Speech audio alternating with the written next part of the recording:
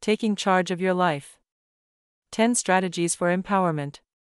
Here are 10 effective strategies to help you take control of your life.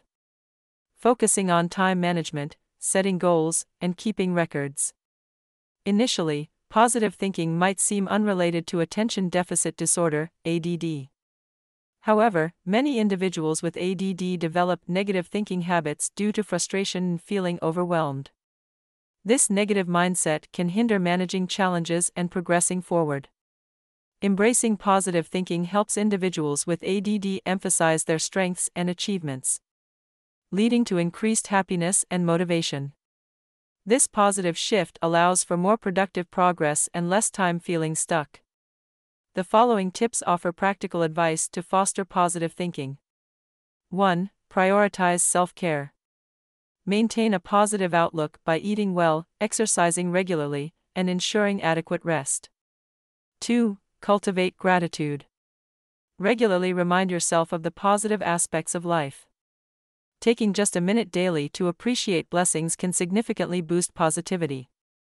3. Seek evidence instead of assuming. Avoid assuming negative thoughts about others' perceptions. Address concerns directly rather than dwelling on unfounded assumptions. 4. Avoid extreme statements. Steer clear of using absolute terms like always or never, which can exaggerate situations and reinforce negative beliefs. 5. Disengage from negative thoughts. Learn to observe negative thoughts without judgment to diminish their impact. 6. Counter automatic negative thoughts, ANTs. Identify and challenge automatic negative thoughts to prevent them from affecting your mood and behavior. 7. Foster positive connections. Physical contact with loved ones and friends can have an immediate uplifting effect. 8. Engage in social activities. Increase social interactions to reduce feelings of loneliness and benefit from positive social energy. 9. Volunteer or assist others.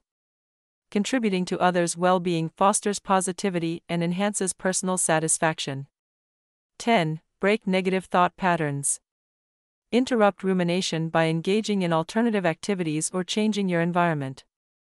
In professional settings, adherence to protocol is crucial for productivity but maintaining a calm and focused mindset is equally essential. While some thrive under pressure, most people are imperfect and may struggle with stress. It's important to acknowledge signs of workaholism and strive for a balanced approach rather than demanding perfection from ourselves.